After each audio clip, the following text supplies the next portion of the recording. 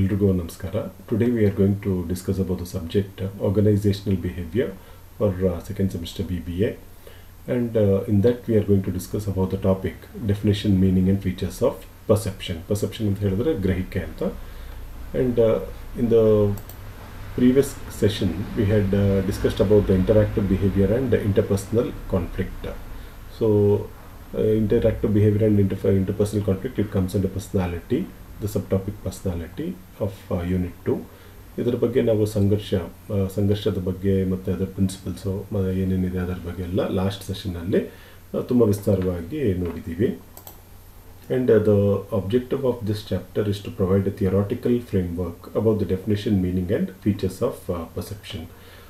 ಗ್ರಹಿಕೆಯ ವ್ಯಾಖ್ಯೆ ಅರ್ಥ ಮತ್ತು ಗುಣಲಕ್ಷಣಗಳನ್ನು ಈ ಒಂದು ಸೆಷನ್ನಲ್ಲಿ ನಾವು ಓದಲಿದ್ದೇವೆ ಆ್ಯಂಡ್ ಅದೇ, ಈ ಒಂದು ಸೆಷನ್ ಕಂಪ್ಲೀಟ್ ಆಗಿದ ತಕ್ಷಣ ಈ ಥರ ಔಟ್ಕಮ್ ಏನಿರುತ್ತೆ ಅಂತ ಹೇಳಿದ್ರೆ you will be able to understand the definition meaning and features of perception so ಮೊದಲನೇದಾಗಿ, ಗ್ರಹಿಕೆಯ ವ್ಯಾಖ್ಯೆ. ಅದನ್ನು ನೋಡೋದಾದರೆ according to Uday Pareek and others perception can be defined as the process of receiving selecting organising interpreting checking and reacting to sensory stimuli or data so Pareek ಅವ್ರು ಏನು ಹೇಳ್ತಾರೆ ಅಂತ ಹೇಳಿದ್ರೆ ಪರ್ಸೆಪ್ಷನ್ ಗ್ರಹಿಕೆ ಅನ್ನೋದು it is a process of receiving ಸ್ವೀಕರಿಸುವುದು selecting ಆಯ್ಕೆ organising ಸಂಘಟಿಸುವುದು interpreting ವ್ಯಾಖ್ಯಾನಿಸುವುದು ಚೆಕ್ಕಿಂಗ್ ಪರಿಶೀಲಿಸುವುದು ಆ್ಯಂಡ್ ರಿಯಾಕ್ಟಿಂಗ್ ಫೈನಲಿ ನಾವು ರಿಯಾಕ್ಟ್ ಮಾಡ್ತೀವಿ, ಪ್ರತಿಕ್ರಿಯೆ ನೀಡ್ತೀವಿ. ಯಾವುದಕ್ಕೆ ಪ್ರತಿಕ್ರಿಯೆ ಇವೆಲ್ಲ, ಯಾವುದಕ್ಕೆ ನಾವು ಮಾಡ್ತೀವಿ ಅಂತ ಹೇಳಿದ್ರೆ ಟು ಸೆನ್ಸರಿ ಸ್ಟೆಮಲಿ ಸಂವೇದನಾ ಪ್ರಚೋದಕಗಳಿಗೆ. ನಾವು ಈ ಒಂದು ಫೈನಲ್ ರಿಯಾಕ್ಷನನ್ನು ಮಾ, ಏನು ಕೊಡ್ತೀವೋ ಅದೇ ಗ್ರಹಿಕೆ ಅಂತ ಯಾರ ಪ್ರಕಾರ ಉದಯ್ ಪಾರಿಕ್ ಆ್ಯಂಡ್ ಅದರ್ಸ್ ಎರಡನೇ definition according to Stephen P Robbins Robbins perception is a process by which individuals organise and interpret their sensory impressions in order to give meaning to their environment sensory impressions ಅಂತ ಹೇಳಿದ್ರೆ ಸಂವೇದನಾ ಅನಿಸಿಕೆಗಳು ಅಂತ ಹೇಳ್ತೀವಿ. So, according to Stephen P. Robbins, perception is a process. So, it is a process. Perception is a, perception is a process by which individuals, what these individuals do, they organize and interpret their sensory impressions. Whatever they see, sensory it's related to the senses. So, whatever they see and feel, they organize and they interpret those uh, impressions, sensory impressions in order to give meaning. So why they organize and interpret to in order to give meaning to their environment. So this is the definition given by stephen p. Robbins.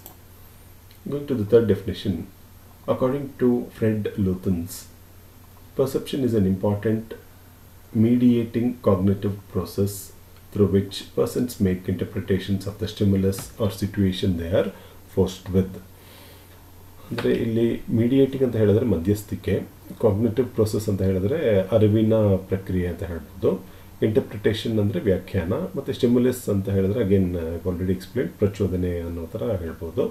So according to Fred Luthans perception is an important mediating cognitive process so cognitive process ಅಂತ ಹೇಳಿದ್ರೆ it's related with the mind ಮೈಂಡ್ಗೆ mind ಇದಕ್ಕೆ it's related through which persons make interpretations so ಈ cognitive process ಮೈಂಡಲ್ಲಿ ಏನು process ಆಗುತ್ತೆ, ಅದರ effect ಅದರ ಪರಿಣಾಮ ಏನು ಅಂತ ಹೇಳಿದ್ರೆ they make interpretations of the stimulus or situation they are forced with ಯಾವುದಾದ್ರೂ ಒಂದು ಸಿಟ್ಯುವೇಶನ್ನು ಅಥವಾ ಒಂದು ಸ್ಟಿಮ್ಯುಲಸ್ ಏನಾದರೂ ಇದ್ದರೆ ಕಂಪ್ಲೇ ಅವರು ಒಬ್ಬ ವ್ಯಕ್ತಿ ಫೋರ್ಸ್ ಆಗಿ ಆ ಒಂದು ಸ್ಟಿಮ್ಯುಲಸ್ ಮತ್ತು ಸಿಟ್ಯುವೇಶನ್ಗೆ ಎದುರಾದರೆ, ಅವರು ಯಾವ ರೀತಿ ಆ ಒಂದು ಸ್ಟಿಮ್ಯುಲಸ್ ಮತ್ತು ಸಿಟ್ಯುವೇಶನ್ನ ಬಗ್ಗೆ ಅವರ ಮೈಂಡಲ್ಲಿ ಯಾವ ರೀತಿ ಒಂದು ಕಗ್ನೇಟಿವ್ ಪ್ರೊಸೆಸ್ ಯೂಸ್ ಮಾಡಿಕೊಂಡು ಯಾವ ರೀತಿ ಅದನ್ನು ಇಂಟರ್ಪ್ರೆಟ್ ಮಾಡ್ತಾರೆ ಅನ್ನೋದೇ ಪರ್ಸೆಪ್ಷನ್ ಅಂತ ಫ್ರೆಡ್ ಲೂಥನ್ಸ್ನವ್ರು ಹೇಳ್ತಾರೆ.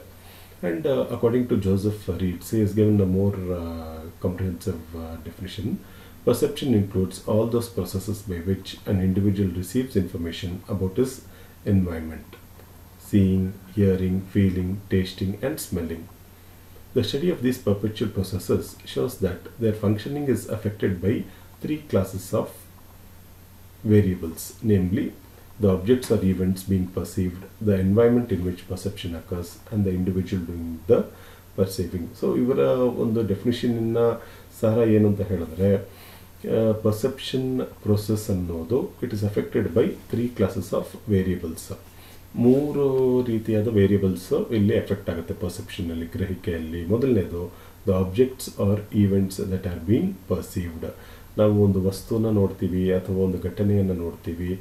ಆ ಒಂದು ಘಟನೆ ಒಂದು ಅಂಶ ಪರ್ಸ ಯಾವುದು? ಪರ್ಸೆಪ್ಷನ್ನಿನ ಒಂದು ಅಂಶ. ಎರಡನೇ ಅಂಶ ಯಾವುದು? Environment in which perception occurs ಆ ಒಂದು ಪರಿಸರ ಅಂತ ಏನಿದೆಯೋ ಅದು ಎರಡನೇದು. ಮತ್ತು the individual doing the perceiving so ಈ ಒಂದು ಗ್ರಹಿಕೆಯನ್ನು ಯಾವ ವ್ಯಕ್ತಿ ಮಾಡ್ತಾ ಇದ್ದಾರೋ ಅವರು ಮೂರನೆಯ ಒಂದು ಭಾಗ ಪರ್ಸೆಪ್ಷನ್ನಿನ ಭಾಗ. ಸೊ ಇವರು ಪರ್ಸೆಪ್ಷನ್ನ ಮುಖ್ಯವಾಗಿ ಮೂರು ಭಾಗಗಳಾಗಿ ಡಿವೈಡ್ ಮಾಡಿದ್ದಾರೆ. ಮೊದಲನೇದು ಒಂದು ವಸ್ತು, ಎರಡನೇದು ಪರಿಸರ, ಮತ್ತು ಮೂರನೇದು ವ್ಯಕ್ತಿ. ಸೊ ಇಷ್ಟೆಲ್ಲ ನೋಡಿದ್ಮೇಲೆ we will see the meaning of perception perception is the process by which an individual selects organises and interprets stimuli into a meaningful and coherent picture of the environment in which he lives in. So perception ಅಂತ ಹೇಳಿದ್ರೆ person he first selects then organizes and then interprets the stimuli into a meaningful and coherent picture of the environment in which he lives in. Next meaning ಇನ್ನು simple ಆಗಿ ಹೇಳ್ಬೇಕಂದ್ರೆ perception is the act of seeing what is there to be seen ಅಂದರೆ ನಾವು ಯಾವುದಾದ್ರೂ ಒಂದು ವಸ್ತುವನ್ನು ನೋಡಿದಾಗ ನಮ್ಮ ಒಂದು ಮನಸ್ಸಲ್ಲಿ ಏನೆಲ್ಲ ಭಾವನೆಗಳು ಬರುತ್ತೋ ನಾವು ಅದನ್ನು ಯಾವ ರೀತಿ ಇಂಟರ್ಪ್ರೆಟ್ ಮಾಡ್ತೀವೋ ಅದನ್ನು ಪರ್ಸೆಪ್ಷನ್ ಅಂತ ಹೇಳ್ತೀವಿ. ಬಟ್ ಈ ಒಂದು ಆ್ಯಕ್ಚುಲಿ ನಾವು ನೋಡೋ ನೋಟ ಬೇರೆ ಇರ್ಬೋದು.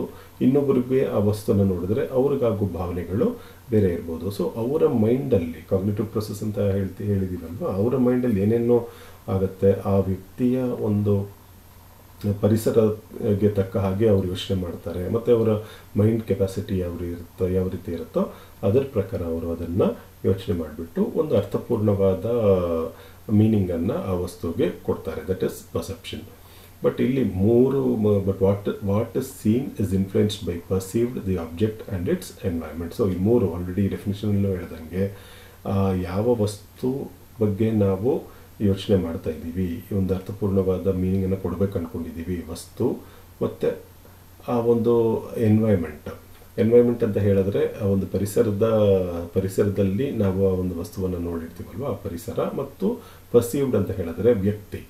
ಯಾವ ವ್ಯಕ್ತಿ ಈ ಒಂದು ಪ್ರೊಸೆಸ್ ಪ್ರೊಸೆಸ್ಸನ್ನು ಮಾಡ್ತಾ ಇದ್ದಾರೋ ಅದನ್ನು ನಾವು ಪರ್ಸೆಪ್ಷನ್ ಅಂತ ಹೇಳ್ತೀವಿ. ಇದರಲ್ಲಿ ತುಂಬ ಆಗಿ ಹೇಳಬೇಕು ಅಂತ ಹೇಳಿದ್ರೆ ಪರ್ಸೆಪ್ಷನ್ ಅನ್ನೋದು ನಮ್ಮ ಗ್ರಹಿಕೆ, ಒಂದು ವಸ್ತುವಿನ ಬಗ್ಗೆ ನಮ್ಮ ಗ್ರಹಿಕೆ. ಅದೊಂದು ಪ್ರೊಸೆಸ್ ನಾವು ಸಪೋಸ್ ಯಾವುದೋ ಒಂದು ಗುಲಾಬಿ ಹೂವನ್ನ ನೋಡ್ತೀವಿ ನಾವು. ಇಬ್ಬರಿಬ್ಬರು ವ್ಯಕ್ತಿಗಳು ಇರ್ತಾರೆ. ಒಂದು ಗುಲಾಬಿ ಹೂವನ್ನ ನೋಡ್ತಾರೆ. ಸೊ ಒಬ್ಬ ವ್ಯಕ್ತಿಗೆ ಏನನ್ಸುತ್ತೆ? ಆ ಗುಲಾಬಿ ಹೂವಿನ ಫಸ್ಟ್ ಪಾರ್ಟ್ ಇರುತ್ತಲ್ಲ, ಆ ಪೆಟಲ್ಸ್ ಅಂತ ಹೇಳ್ತೀವಿ. ಸೊ ಅದನ್ನು ಅವ್ರು ನೋಡಿಬಿಟ್ಟು ಎಷ್ಟು ಸುಂದರವಾಗಿದೆ? ಅಂತೆಲ್ಲ ಅವರು ಅವರು ದಟ್ ಇಸ್ ಇಸ್ ಪರ್ಸೆಪ್ಷನ್ ಅವರ ಒಂದು ಗ್ರಹಿಕೆ. ಗುಲಾಬಿ ಹೂವನ್ನ ನೋಡಿಬಿಟ್ಟು ಅವರು he sees the positive side of it ಅದೇ ಗುಲಾಬಿ ಹೂವು ಇನ್ನೊಬ್ಬರಿಗೆ ತೋರಿಸಿದಾಗ ಏನಾಗುತ್ತೆ ಅಂತ ಹೇಳಿದ್ರೆ, ಅವ್ರು ಬರೀ ಆ ಪೆಟಲ್ಸನ್ನು ನೋಡಲ್ಲ, ಅದರಲ್ಲಿರೋ ಮುಳ್ಳನ್ನು ನೋಡಿಬಿಟ್ಟು ಸೊ ಈ ಮುಳ್ಳು, ಇದು ಚುಚ್ಚತ್ತೆ ಸೊ ಇದನ್ನು ನಾವು ತಗೋಬಾರ್ದು ಅನ್ನೋ ಒಂದು ಪರ್ಸೆಪ್ಷನ್ ಅವ್ರ ಮನಸ್ಸಿಗೆ ಬಂದ್ಬಿಡುತ್ತೆ. ನೆಗೆಟಿವ್ ಪರ್ಸೆಪ್ಷನ್ ಅಂತ ಹೇಳ್ತೀವಿ ನಾವು.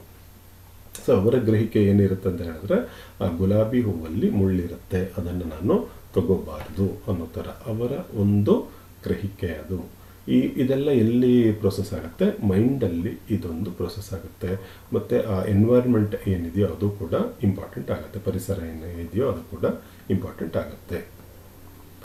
ನೆಕ್ಸ್ಟ್ ಈ ಇದರ ಫೀಚರ್ಸನ್ನು ಪರ್ಸೆಪ್ಷನ್ ಗ್ರಹಿಕೆಯ ಗುಣಲಕ್ಷಣಗಳನ್ನು ನಾವು ನೋಡೋದಾದರೆ, ಮೊದಲನೇದು it is cognitive and psychological process so ಅರಿವು. ಇಟ್ ಇಸ್ ರಿಲೇಟೆಡ್ ಟು ಅರಿವು ಮತ್ತು ಮಾನಸಿಕ ಪ್ರಕ್ರಿಯೆ ಅಂತ ಹೇಳ್ತೀವಿ ನಾವು ಇದನ್ನು. Because perception is a cognitive and psychological process the manner in which a person perceives the environment effects his behaviour ಅಂದರೆ, ಆ ಒಂದು, ಅದನ್ನು ಆಲ್ರೆಡಿ ಆ ಗುಲಾಬಿ ಹೂವಿನ ಎಕ್ಸಾಂಪಲ್ ಕೊಟ್ಟಿದ್ನಲ್ಲ, ಯಾರು ಬರೀ ಮುಳ್ಳನ್ನು ನೋಡ್ತಾರೋ ಸಾಧಾರಣವಾಗಿ ಅವರ ಬಿಹೇವಿಯರು ಕೂಡ ಅದೇ ರೀತಿ ಇರುತ್ತೆ. ಅಂದರೆ, ಅವರು ಸ್ವಲ್ಪ ನೆಗೆಟಿವ್ ಆಗಿ ಯೋಚನೆ ಮಾಡೋ ವ್ಯಕ್ತಿ ಆಗಿರ್ತಾರೆ. And there can be no behaviour without perception and perception lies at the base of every human action so behaviour ಅಂತ ಹೇಳಿದ್ರೆ, ನಾವು ಯಾವುದೇ ಒಂದು ವಸ್ತು ರಿಯಾಕ್ಷನ್ ನಮ್ಮ ರಿಯಾಕ್ಷನ್ ಯಾವ ರೀತಿ ಇರುತ್ತೆ ಅನ್ನೋದು, ಯಾವುದೇ ಒಂದು ವಸ್ತುನ, ವ್ಯಕ್ತಿನ ಘಟನೆನ ನೋಡಿ, ನಮ್ಮ ರಿಯಾಕ್ಷನ್ ಯಾವ ರೀತಿ ಇರುತ್ತೆ ಅಂತ ನಾವು ಗಮನಿಸಿದ್ರೆ ನಮ್ಮ ಪರ್ಸೆಪ್ಷನ್ನು ಕೂಡ ಅದೇ ರೀತಿ ಇರುತ್ತೆ. ಅಂದರೆ ನಾವು ಫಸ್ಟು ಗ್ರಹಿಕೆಯನ್ನು ಮಾಡಿಕೊಂಡು ಆ ಒಂದು ಘಟನೆಯ ಬಗ್ಗೆ, ಆಮೇಲೆ ಅದಕ್ಕೆ ನಮ್ಮ ರಿಯಾಕ್ಷನನ್ನು ತೋರಿಸ್ತೀವಿ. ನಮ್ಮ ಬಿಹೇವಿಯರು ಅದನ್ನು, ಅದರ, ಅದಕ್ಕೆ ತಕ್ಕ ಹಾಗೆ ಇರುತ್ತೆ. So it is a cognitive and psychological process ಈ ಒಂದು ಗ್ರಹಿಕೆ ಅನ್ನೋದು ಅರಿವು ಮತ್ತು ಮಾನಸಿಕ ಪ್ರಕ್ರಿಯೆಗೆ ಸಂಬಂಧಿಸಿದೆ. Second thing is second feature is it occurs when stimuli activates the sense organs it occurs when stimuli stimuli ಅಂತ ಹೇಳಿದ್ರೆ ಆಲ್ರೆಡಿ ಹೇಳಿದ್ದೀನಿ, ಪ್ರಚೋದಕಗಳು ಆಕ್ಟಿವೇಟ್ಸ್ ಅಂತ ಹೇಳಿದ್ರೆ ಸಕ್ರಿಯಗೊಳಿಸೋದು. ದ ಸೆನ್ಸ್ ಆರ್ಗನ್ಸ್ ಪ್ರಜ್ಞೆ ಅಂಗಗಳು ಅಂತ ನಾವೇನು ಹೇಳ್ತೀವೋ ಸೊ ಪ್ರಜ್ಞೆ ಅಂಗಗಳನ್ನು ಯಾವಾಗ ಇದು ಪ್ರಚೋದಕಗಳು ಸಕ್ರಿಯಗೊಳಿಸುತ್ತದೋ, ಈ ಒಂದು ಪರ್ಸೆಪ್ಷನ್ನು ಸ್ಟಾರ್ಟ್ ಆಗುತ್ತೆ. ಅಂದರೆ perception it refers to the acquisition of specific knowledge about objects or events at any particular moment. It occurs whenever stimuli activates the sense organs. So ಮೂರನೇ feature it is an automatic process ಇದು ಸ್ವಯಂಚಾಲಿತ ಪ್ರಕ್ರಿಯೆ.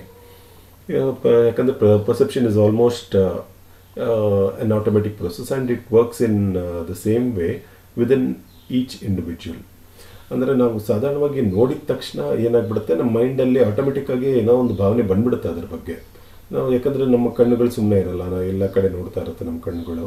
ಅದು ಯಾವುದಾದ್ರೂ ಒಂದು suppose attractive ಆಗಿರುವ ಯಾವುದಾದ್ರೂ ಒಂದು ವಸ್ತುನ ನಾವು ನೋಡ್ತೀವಿ ಅಂತ ಇಟ್ಕೊಳ್ಳಿ. ಅವಾಗ ಏನಾಗುತ್ತೆ? ನಮ್ಮ ಮೈಂಡ್ಗೂ ಇಮಿಡಿಯೇಟಾಗಿ ಹೋಗ್ಬಿಟ್ಟು ಮೈಂಡಿಂದ ಒಂದು ಆ್ಯಕ್ಷನ್ ಬರುತ್ತೆ. ಓಕೆ ದಟ್ ಈಸ್ ಗುಡ್ ಅನ್ನೋ ಥರ ಬಟ್ ನನಗೆ ಅಟ್ರಾಕ್ಟಿವ್ ಆಗಿರೋ ವಸ್ತು ಇನ್ನೊಬ್ಬರಿಗೆ ಅಟ್ರಾಕ್ಟಿವ್ ಆಗಬೇಕು ಅಂತ ಇಲ್ಲ. ಆಲ್ರೆಡಿ ಗುಲಾಬಿದ ಹೂವು ಹೂವಿನ ಒಂದು example ಕೊಟ್ಟಿದ್ದೀನಲ್ವಾ? So it depends on how they perceive it ಅಂತ ಹೇಳ್ತೀವಿ. ಇದು ಆ್ಯಕ್ಚುಲಿ ಈ ಭೇದ ಭಾವಗಳು ಬರ, ಕಾರಣ ಇದೆ. ಯಾಕಂದರೆ ಒಬ್ಬ ವ್ಯಕ್ತಿಗೆ ಸಪೋಸ್ ಇದರಲ್ಲೇ ತಗೊಳ್ಳೋಣ ಸಿನಿಮಾ ಫೀಲ್ಡಲ್ಲಿ ಒಬ್ಬ ವ್ಯಕ್ತಿಯಾಗೆ ಒಬ್ಬ ಹೀರೋ ಇಷ್ಟ ಆಗಿರ್ತಾರೆ. ಇನ್ನೊಬ್ಬರ ಇನ್ನೊಬ್ಬ ವ್ಯಕ್ತಿಗೆ ಇನ್ನೊಬ್ಬ ಹೀರೋ ಇಷ್ಟ ಆಗಿರ್ತಾರೆ. ಕಾರಣಗಳು ಏನಂತ ಹೇಳಿದ್ರೆ, ಅವರ ಒಂದು ಗ್ರಹಿಕೆ, ಆ ಹೀರೋ ಬಗ್ಗೆ ಅವ ಅವರಿಗಿರುವ ಗ್ರಹಿಕೆ ಹೌದೇ ಪಸೀವ್ ಹೌದೇ ಪಸೀವ್ ದಟ್ ಪರ್ಸನ್ ಅನ್ನೋ ಥರ. ಸೊ ಒಬ್ಬರಿಗೆ ಒಬ್ಬರು ಇಷ್ಟ ಆಗಿರ್ತಾರೆ ಇನ್ನೊಬ್ಬರಿಗೆ ಇನ್ನೊಬ್ಬರು ಇಷ್ಟ ಆಗಿರ್ತಾರೆ. ಆ್ಯಂಡ್ ಒಂದೊಂದು ಸಲ ಕನ್ಫ್ಲಿಕ್ಟು ಬರುತ್ತೆ ಇದರಿಂದ. ಬೇರೆ ಬೇರೆ ಡಿಫ್ರೆಂಟ್ ಪರ್ಸೆಪ್ಷನ್ಸ್ ಇರೋದ್ರಿಂದ ಕನ್ಫ್ಲಿಕ್ಟು ಬರುತ್ತೆ. ಬಟ್ ಏನಂತ ಹೇಳಿದ್ರೆ, ನಾವು ಸಾಧಾರಣವಾಗಿ ಯಾವುದನ್ನೇ ನಾವು ನೋಟಿಸ್ ಮಾಡಿದ್ರು ನಮ್ಮ ಮನಸ್ಸಲ್ಲಿ ಒಂದು ಭಾವನೆ ಬಂದೇ ಬರುತ್ತೆ, ಒಂದು ಗ್ರಹಿಕೆ ಅದು ಬಂದೇ ಬರುತ್ತೆ. That is known as it's an automatic process ಮತ್ತು it is a subjective process ನಾಲ್ಕನೇದು. ಸಬ್ಜೆಕ್ಟಿವ್ ಪ್ರೊಸೆಸ್ ಅಂತ ಹೇಳಿದ್ರೆ ವ್ಯಕ್ತಿನಿಷ್ಠೆ. ವ್ಯಕ್ತಿನಿಷ್ಠ ಪ್ರಕ್ರಿಯೆ ಅಂತ ಹೇಳ್ಬೋದು. ಆಲ್ರೆಡಿ ನಾನು ಎಕ್ಸ್ಪ್ಲೇನ್ ಮಾಡ್ದಂಗೆ ಒಂದು ವಸ್ತು ಒಬ್ಬರಿಗೆ ಚೆನ್ನಾಗಿ ಕಾಣಿಸಿದ್ರೆ ಇನ್ನೊಬ್ಬರಿಗೆ ಚೆನ್ನಾಗಿ ಕಾಣಿಸ್ಬೇಕನ್ನೋದು ಇಲ್ಲ. ಕೆಲವೊಬ್ಬರಿಗೆ ಈಗ ಲಿಟ್ರೇಚರ್ ಇಷ್ಟ ಆಗುತ್ತೆ.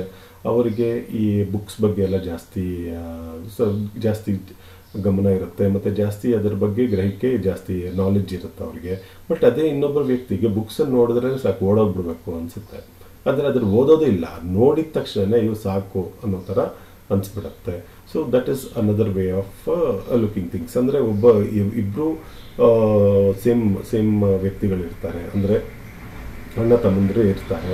ಅವರಿಗೆ ಒಂದು, ಅವರ ಒಂದು ಗ್ರಹಿಕೆ ಬೇರೆ ಬೇರೆ ರೀತಿ ಇರುತ್ತೆ. ಅಣ್ಣನಿಗೆ ಸಪೋಸ್ ಒಳ್ಳೆಯ ಬಟ್ಟೆ ಅಂದರೆ ಅದ್ರ ಬಗ್ಗೆ ಗ್ರಹಿಕೆ ಚೆನ್ನಾಗಿರುತ್ತೆ. ಬಟ್ ತಮ್ಮ ಏನು ಇರ್ತಾನೆ, ಇಲ್ಲ, ಬಟ್ಟೆಗಿಂತ ನಾವು ನಮ್ಮನ್ನು ಯಾವ ರೀತಿ ನಾವು ಪ್ರೆಸೆಂಟ್ ಮಾಡ್ತೀವೋ ಅದು ಇಂಪಾರ್ಟೆಂಟ್ ಅಂತ ಅಂದ್ಕೊಂಡಿರ್ಬೋದು ಅಂದರೆ it's not related to clothes but ಅವ್ರಿಗೆ ರಿಲೇಟೆಡ್ ಟು ಒಂದು ಶೂಸ್ ಇರ್ಬೋದು, ಅಥವಾ ಒಂದು ಗಾಗಲ್ಸ್ ಇರ್ಬೋದು ಆ್ಯಂಡ್ ಒಂದು, ಒಂಥರ ಫೇಶಿಯಲ್ ಮಾಡಿಸ್ಕೊಳ್ತಾರಲ್ಲ, ಅದೆಲ್ಲ ಫೇಶಿಯಲ್ ಹೇರ್ ಕಲರು ಅದೆಲ್ಲ ಬಟ್ ಕ್ಲೋತ್ಸ್ ಬಗ್ಗೆ ಜಾಸ್ತಿ ಗಮನ ಇರಲ್ಲ ಅವರಿಗೆ. So the this is what the this is what the causes to see conflict ಅಂತ ಹೇಳ್ಬೋದು. ಈ ಒಂದು it is a subjective process ಅಂತ ಹೇಳ್ತೀವಿ. ಅಂದರೆ ಒಬ್ಬರಿಗೆ ಒಪ್ಕೋಬೇಕಾಗಿರೋದು ಇನ್ನೊಬ್ಬರು ಒಪ್ಕೋಬೇಕು ಅಂತ ಇಲ್ಲ. ತುಂಬ ಸಿಂಪಲ್ ಆಗಿ ಹೇಳ್ಬೇಕಂದ್ರೆ, ಒಂದು ವಸ್ತು ಅಥವಾ ವ್ಯಕ್ತಿ ಒಬ್ಬರಿಗೆ ಹಿಡಿಸಿರ್ತಾರೆ ಇನ್ನೊಬ್ಬರಿಗೆ ಆ- ವ್ಯಕ್ತಿ ಅಥವಾ ವಸ್ತು ಹಿಡಿಸ್ಲೇಬೇಕು ಅಂತ ಇಲ್ಲ. This is subjective and finally it is a unique ಪ್ರೆಸೆಂಟೇ interpretation of a situation it is unique interpretation ಅಂತ ಹೇಳಿದ್ರೆ ಅನನ್ಯ ವ್ಯಾಖ್ಯಾನ ಅಂತ ಹೇಳ್ಬೋದು ಒಂದು ಪರಿಸ್ಥಿತಿಯ ಅನನ್ಯ ವ್ಯಾಖ್ಯಾನ ಪರ್ಸೆಪ್ಷನ್ ಅನ್ನೋದು ಒಂದು ಪರಿಸ್ಥಿತಿಯ ಅನನ್ಯ ವ್ಯಾಖ್ಯಾನ. Because perception is a unique interpretation of the situation and not an exact recording of the situation because it's not an exact recording of the situation so ಯಾವುದೇ ಒಂದು ಉದಾಹರಣೆಗೆ ನಾವು ರಾಮಾಯಣದಲ್ಲಿ ಒಂದು ಘಟನೆ ಇರುತ್ತೆ. ಸೊ, ರಾಮಾಯಣದಲ್ಲಿ ಆಫ್ಟರ್ ರಾಮ, ಅವರು ರಾವಣನೆಲ್ಲ ಕೊಂದ ಸಾಯಿಸ್ಬಿಟ್ಟು ಮತ್ತು ಅವ್ರು ಯಾವಾಗ ಅಯೋಧ್ಯೆಗೆ ಬರ್ತಾರೋ, ಮತ್ತು ಅವ್ರ ಪಟ್ಟಾಭಿಷೇಕ ಎಲ್ಲ ಆಗುತ್ತೆ. ಆ ಒಂದು ಸಭೆಯಲ್ಲಿ ಲಕ್ಷ್ಮಣ ನಗ್ತಾರೆ. ಆ ಒಂದು ಸಭೆಯಲ್ಲಿ ಲಕ್ಷ್ಮಣ ಏನಿರ್ತಾರೋ ಯಾವುದೋ ಒಂದು ವಿಷಯಕ್ಕೆ ತಿಳ್ಕೊಂಡು ನಗ್ತಾರೆ. ಆ ನಗುವಿ, ನಗುವಿನ ಅರ್ಥವನ್ನು ಅಲ್ಲಿರೋರು ಎಲ್ಲರೂ ಕೂಡ ಅವರವರಿಗೆ ತಕ್ಕ ಹಾಗೆ ಅವರವರು ಆ ಒಂದು ನಗುವಿನ ಅರ್ಥವನ್ನು ಪಸೀವ್ ಮಾಡ್ಕೊಳ್ತಾರೆ, ಗ್ರಹಿಕೆ ಮಾಡ್ಕೊಳ್ತಾರೆ. ಉದಾಹರಣೆಗೆ ರಾಮನ ಅಂದ್ಕೊಳ್ತಾರೆ ಅಂದರೆ ನೋಡು, ಇಷ್ಟೆಲ್ಲ ಇದು, ಇಷ್ಟು ಇದಾದಮೇಲೂ ಕೂಡ, ಇಷ್ಟೆಲ್ಲ ಕಷ್ಟಪಟ್ಟ ಮೇಲೂ ಕೂಡ ಇವರು ಸಿಂಹಾಸದ ಮೇಲೆ ಕೂತ್ಕೊಂಡಿದ್ದಾರೆ. ನಾನು ಅವ್ರ ಜೊತೆಲ್ಲ ಬಂದಿದ್ದೀನಿ.